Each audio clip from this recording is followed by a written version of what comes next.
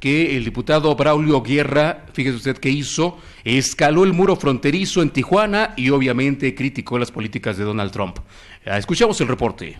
El diputado federal por Querétaro, Braulio Guerra Urbiola, presentó contramedidas económicas a las políticas migratorias del presidente de los Estados Unidos, Donald Trump, y sobre el muro fronterizo que planea construir. A través de un comunicado, el diputado señaló que la inversión de 15 mil millones de dólares que Donald Trump piensa realizar en el muro no solo es absurda y ridícula, sino que no detendrá el flujo migratorio, ya que los muros son fáciles de escalar y sencillos de saltar. El diputado Braulio Guerra sostuvo en Tijuana una reunión con migrantes y repatriados mexicanos y al final escaló el muro fronterizo que se encuentra entre México y Estados Unidos. Con esto pretende echarle en cara al presidente Donald Trump que pese a las vallas millonarias que piensa edificar, las personas podrán burlarlas. Guerra Urbiola posó desde lo alto del muro sin que hubiera policías a su alrededor y las fotografías las exhibió en Twitter la red favorita del presidente republicano. El legislador mexicano fue recibido por el delegado del Instituto Nacional de Migración Rodolfo Figueroa. El diputado priista fue testigo del proceso de repatriación y deportación en el módulo central y relató que en el proceso las autoridades de los Estados Unidos literalmente tocan un timbre de una puerta en donde existen dos candados de ambas partes.